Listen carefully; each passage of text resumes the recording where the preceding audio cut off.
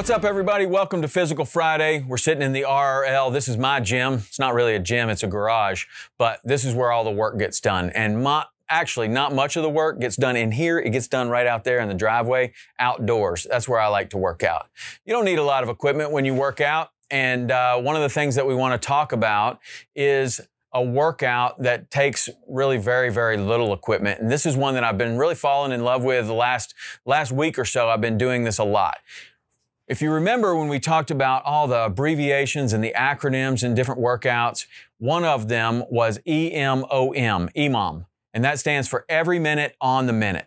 And you can do that with a single exercise. You can just designate a certain number that you're going to do every minute on the minute. If you finish early, you have a little rest. You're going to start at the top of every minute and you're going to do that. There's also an additional uh, workout that I like to do, and that is an alternate EMOM workout where you're going to start at the top of each minute, but on every other minute, you're going to do a different exercise. So this is a really great one to do if you have very little equipment or if you want to do something in a team format. In a team format, it's very easy to do. One guy does one exercise while the other's doing the other exercise. Then you switch and continue to do that for whatever the designated period of time is. So let me tell you how you get one of these started for yourself, no matter what kind of equipment that you have access to. And a lot of us, maybe some of the gyms are still closed. You don't have a lot of equipment, but you do have a dumbbell at home or a kettlebell at home, or maybe you've got, you know, more, or you're, you, you have a gym like I do. So no matter what kind of equipment you have, you can come up with a format that'll work great.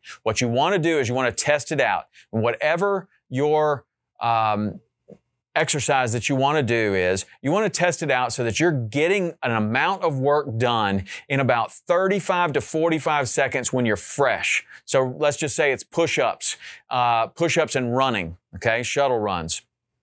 You could drop and, and watch the clock and try to see how many push-ups you can do in, in 35 seconds. Let's say you can do 25 in 35 seconds very comfortably when you're fresh. So that may be your number. So on minute one, you're going to do 25 push-ups. Then you go out and you test out your shuttle run. How many times can you run back and forth in your driveway? Is it two? Is it four? Whatever that number is, that's going to be what you do on the second minute. The way that you do this as a team is one person will work on the first exercise while the other works on the second exercise. If you finish a little bit early, say it only takes you 30 seconds to do the 25 push-ups, well, you have 30 seconds of rest where you can move to the next station. The other guy may take 45 seconds to run and he's got 15 seconds to get to the push-up station. You can do this with any exercises. Some of the things that we've been doing, we've been doing uh, row calories, so 15 row calories paired with 15 burpees, or we'll do uh, 15 calories on the bike, 15 calories on the ski erg, 15 calories on the rower, and we'll do that for nine minutes or 18 minutes or how many ever minutes we want to go.